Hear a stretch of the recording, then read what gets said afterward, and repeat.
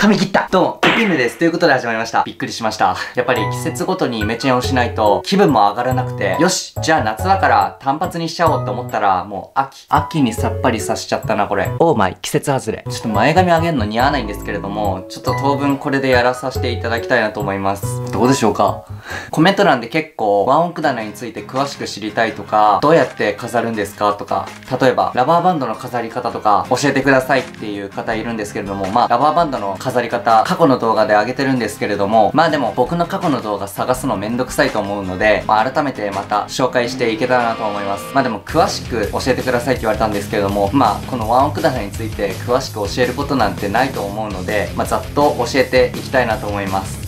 教えていきたいなってなんか上からだな。教えます。まあ、ざっくり分けて、こっちが CD、こっちが DVD って感じで分けてます。で、ボケたななぜボケた？あ、こっちにピントかってんのか。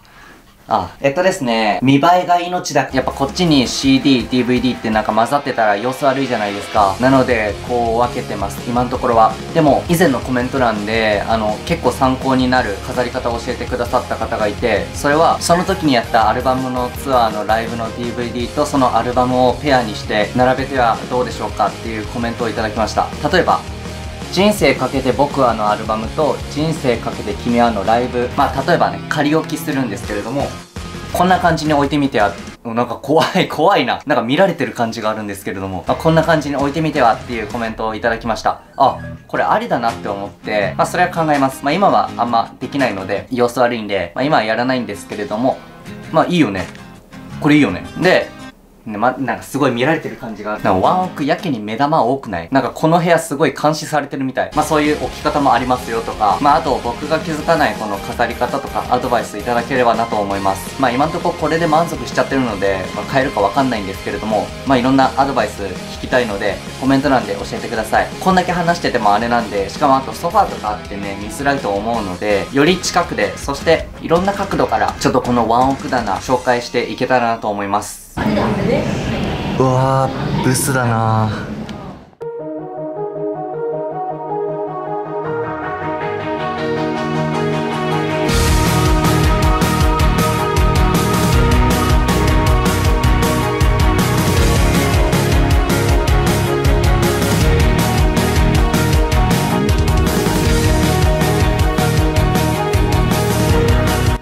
ということでワンオク棚はこの部屋に2つあります。でこのワンオク棚に何を置いてるのか一目瞭然。CD と DVD あとは雑誌なんかも置いてます。僕なりの飾り方は右側を CD にして左側をライブの DVD にして置いてます。CD の飾り方は特に順番も決めてなくて適当に飾ってる状態です。一応ライブの DVD は発売された順に並べてます。ラバーバンドは以前紹介したようにカードリングにラバーバンドをくくらせて飾ってます。こうすることでシンプルでかっこよく飾れることができます。前回の動画でワンオクのシングル CD を大量に購入して昔の時よりもワンオク棚が賑やかになって見栄えが良くなってすごい満足してます。今後ワンオクの CD が発売されてワンオク棚に入らなくなったらまたワンオク棚を購入して見栄えのいい動画撮影環境をまた作っていければなと思います。もう詳しく話すことはないと思うのでもうここで終わりにします。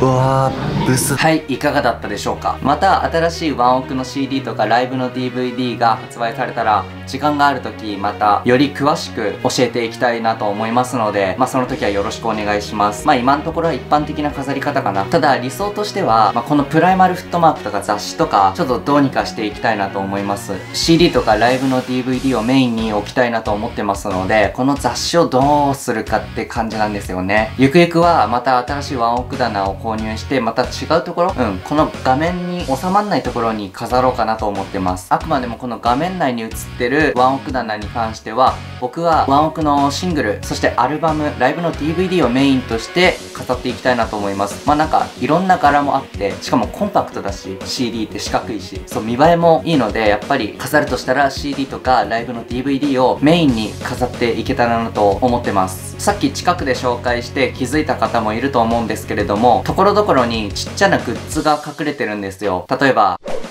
こういう缶バッジとかシールとかが隠れててこいつらもまた違うところにお引っ越しさせてあげたいなと思ってます。僕はやっぱり CD のみとかライブのみっていう風にやっぱり混合させたくないですね。例えて言うならトイレが男性用女性用って分かれてる感じ。うん。様子悪い。ねえ。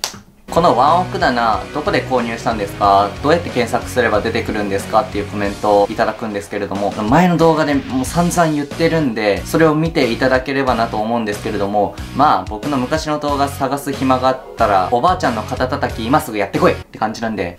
この動画でも紹介するんですけれども僕が勝手にこうやってワンオクのグッズをこう飾ってるのでワンオク棚って自分で勝手に言ってるんですけれどもこの商品名ワンオク棚じゃなくてマガジンラックっていうラックなんです実は。写真集とか雑誌とかそういったのを飾る棚なんです。なので Amazon でマガジンラックっていう風に検索したら出てくると思います。でそれもいろんなサイズがあってスリムとワイドっていう風に2タイプに分かれてます。で僕はワイドの方を購入してます。スリムだと CD とライブの DVD の量を見てもらえれば分かると思うんですけれども収まりきんないんですよ。なので僕はワイドの方を購入してます。この棚が欲しいよっていう方だったりちょっと気になるなっていう方は Amazon でマガジンラックって検索すれば出てくると思いますのでチェックしてみてください。まあただちょっとこれは重いんでね部屋まで運ぶの大変だと思います。それは致し方ないデメリットです。それを考慮した上で購入してみてください。もうこのワンオク棚についてもう全て話しました。もう言うことないですね。